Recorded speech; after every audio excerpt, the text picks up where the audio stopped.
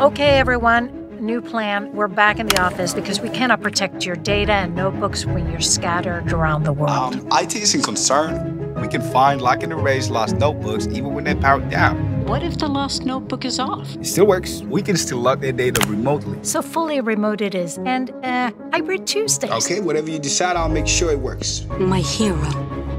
Thank you.